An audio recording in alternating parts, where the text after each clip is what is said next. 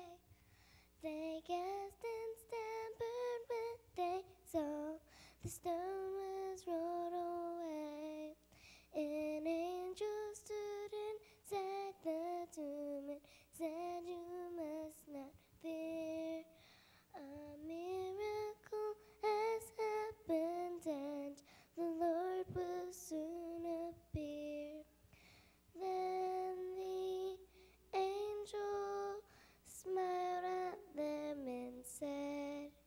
He is not here, He's risen. Christ has risen from the dead.